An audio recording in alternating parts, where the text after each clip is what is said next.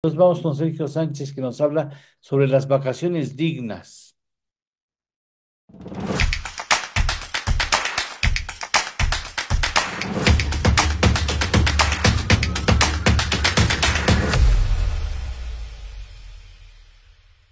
Muy buenos días, amigos de las redes sociales, del auditorio y compañeros en el estudio. Estamos iniciando la semana en donde nos encontraremos con jueves y viernes santos, he de ahí la denominación de la llamada Semana Santa. Estos días regularmente son de asueto o no laborables y por costumbre se han manejado de esta forma, ya que no están contemplados como días de descanso obligatorio en la Ley Federal del Trabajo. También tenemos un dicho, que la costumbre se hace ley, pero ante las circunstancias económicas actuales y la serie de disposiciones laborales, le pregunto a usted, como patrón o empleador, ¿va a regalar estos dos días? Con la reforma a las vacaciones dignas, la Ley Federal del Trabajo, en su artículo 78, señala que del total del periodo que le corresponda al trabajador, éste disfrutará de 12 días de vacaciones continuos, por lo menos. Dicho periodo a potestad de la persona trabajadora, podrá ser distribuido en la forma y tiempo que así lo requiera.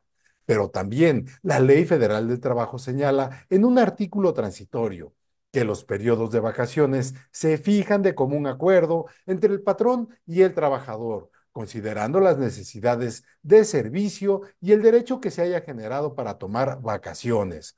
De tal forma, y por lo anterior, amigos trabajadores y patrones, los invito a llevar a cabo las actividades relacionadas al cumplimiento laboral y con esto conformar la comisión mixta de vacaciones, en donde el patrón y trabajadores se pondrán de acuerdo respecto a los periodos vacacionales sin afectar las actividades de servicios y producción de los centros de trabajo He de ahí la importancia que de común acuerdo los periodos vacacionales se fijen entre el patrón y el trabajador. Por eso es importante también que de forma anticipada se pongan de acuerdo para la elección del periodo de solicitud de vacaciones, ya que dependerá de las políticas, calendario, contrato de trabajo y o reglamento de la empresa para la que se presta el servicio. Es requisito indispensable que se pacten los días de vacaciones con el patrón y éste los conceda dentro de los seis meses siguientes al cumplimiento del año de servicios. Considere, amigo trabajador, que las vacaciones no se acumulan ni se pagan y el derecho a vacaciones se genera cada año dependiendo de la antigüedad que se tenga en la empresa y deben concederse dentro de los seis meses siguientes al cumplimiento del año de servicios.